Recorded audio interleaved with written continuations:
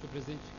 Um minuto, um minuto para Senhor João Moraes. João presidente, eu- Moraes, um minuto. Chico Danjo, um minutinho só. João. Eu queria registrar aqui e ressaltar o discurso da presidente Dilma na cúpula dos BRICS. Nós estamos, neste momento, consolidando uma alternativa de bloco que cria perspectivas para o Brasil, para a África do Sul, para a Índia, para a China, para a Rússia, demonstrando que as ini- iniciativas da presidente Dilma, ao se integrar ao grupo dos BRICS, está criando alternativas de investimentos para a infraestrutura do Brasil, como os entendimentos entre a Rússia e o Brasil.